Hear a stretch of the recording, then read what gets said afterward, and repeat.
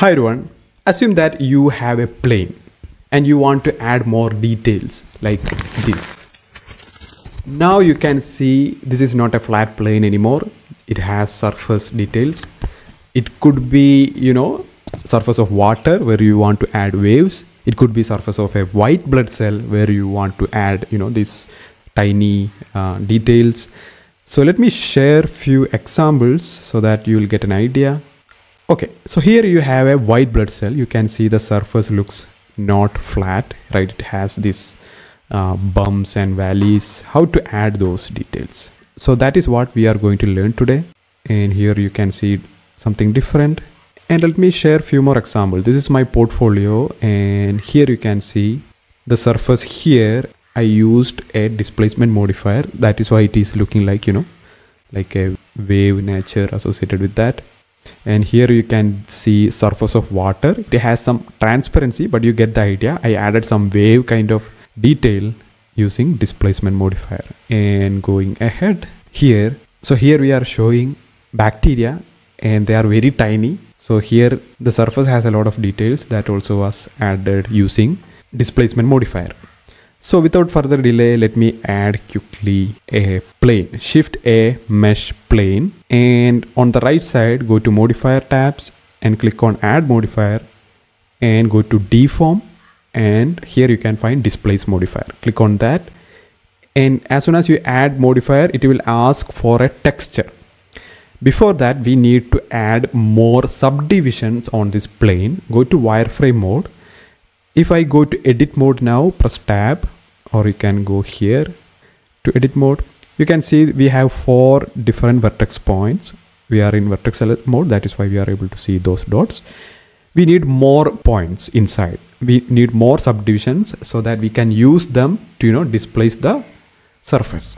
So simply right click, subdivide multiple time don't increase it a lot because it will be hard to handle if you have too many points so i think this is okay. I'll stop it there. Go back to object mode. Press tab.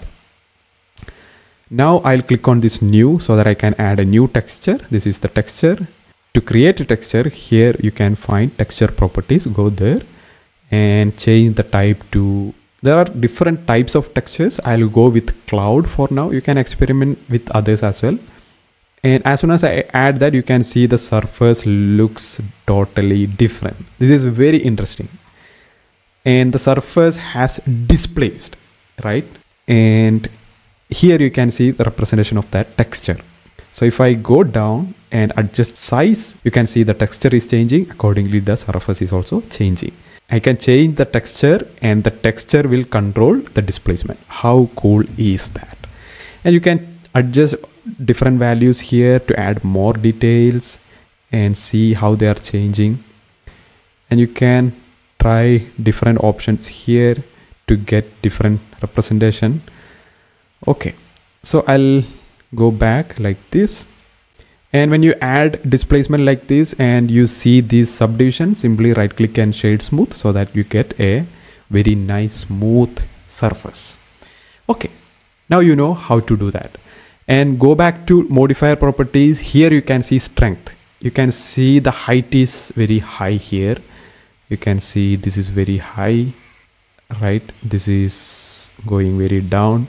So if you want to decrease the strength of displacement simply reduce the displacement strength in modifiers.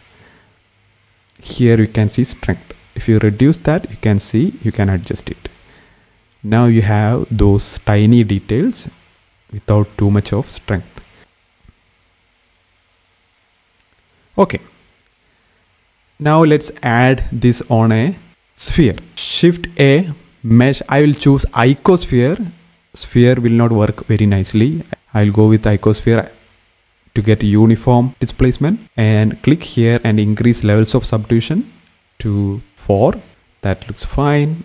And click on add modifier, deform, displace, choose a texture go to texture change this to clouds now you can see the displacement adjust the size.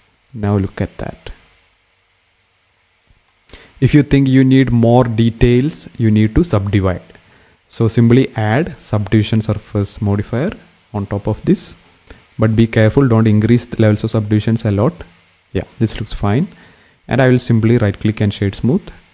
Now look at that. It looks like a, an organic cell right go back to texture and you can adjust the texture properties here and also adjust the strength. That looks great. So if you want more details decrease the size like this. Now that looks like a surface of a cell. I'll quickly add a light just to show you how it looks like and we have a plane below.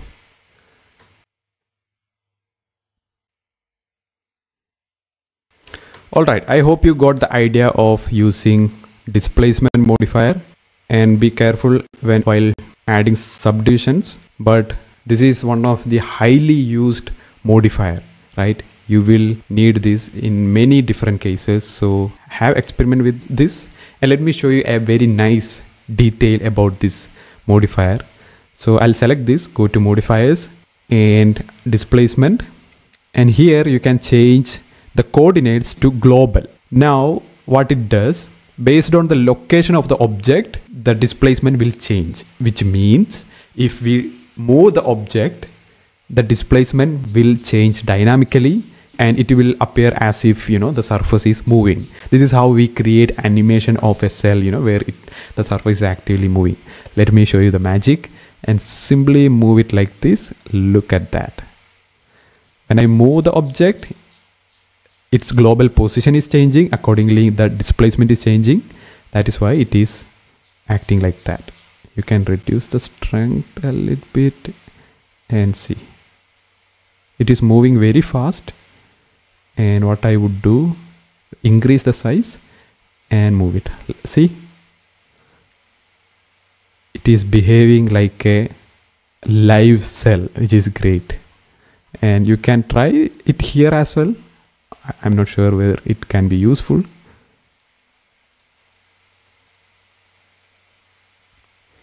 See, while I am changing its location, the displacement is also changing. And you can displace it in one direction. For example, y direction, it is displacing only along y, now displacing only along x, now displacing only along z. So yeah, if you keep it normal, and it will behave normally. So that's about displacement modifier. Let me know if you would like to more clarity. I hope it is clear. It is a very powerful modifier, very easy to use, very easy to learn. See you in the next tutorial.